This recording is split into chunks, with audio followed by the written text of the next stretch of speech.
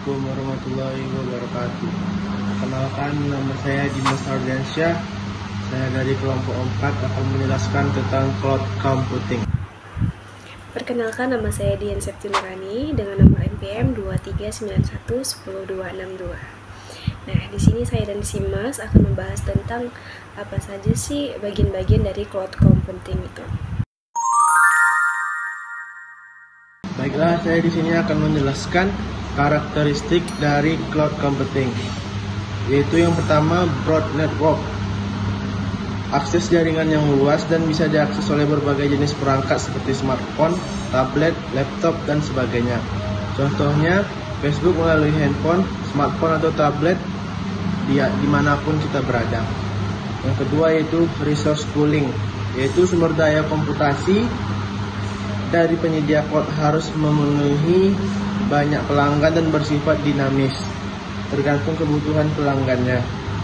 Contohnya Google menyediakan ratusan ribu server yang tersebar di penjuru dunia sehingga dapat melayani jutaan pengguna.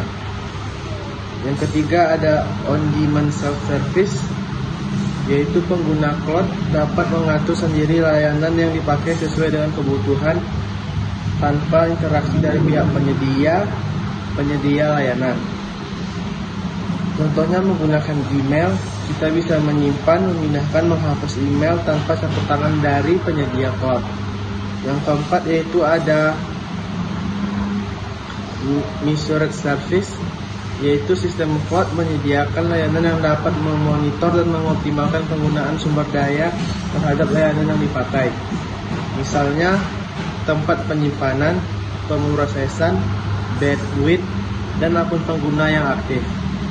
Yang kelima yaitu rapid elasticity, yaitu kapasitas layanan bersifat fleksibel tergantung kebutuhan pengguna sehingga pengguna cloud dapat dengan mudah meminta menaikkan atau menurunkan kapasitas layanan sesuai kebutuhannya.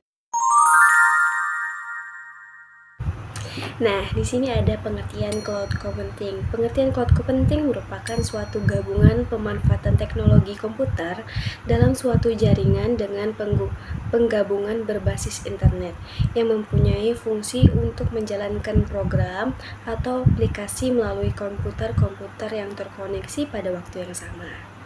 Tetapi tidak semua yang terkoneksi melalui internet menggunakan cloud computing. Baiklah, selanjutnya saya akan menjelaskan jenis-jenis cloud computing. Yang pertama yaitu ada IaaS atau infrastruktur infrastruktur as a service. Yang kedua ada PaaS atau platform as a service.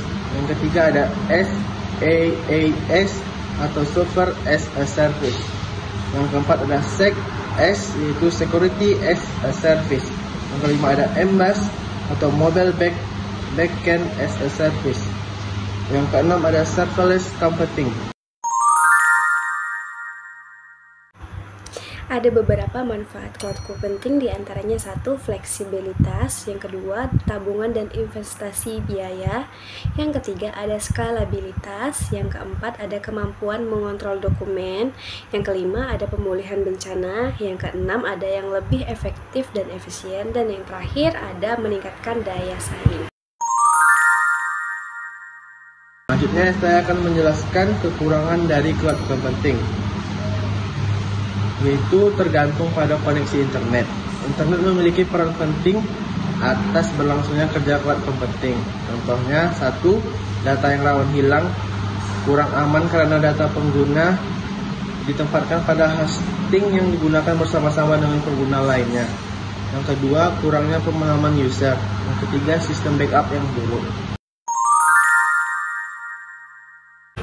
Nah, sementara kelebihan dari cloud computing di antaranya ada satu mudah diakses, yang kedua murah, yang ketiga ramah lingkungan, yang keempat menciptakan lapangan kerja yang baru, yang kelima penggunaan, yang keenam bagi pengguna atau user, yang ketujuh bagi perusahaan, dan yang terakhir bagi pebisnis di bidang infrastruktur.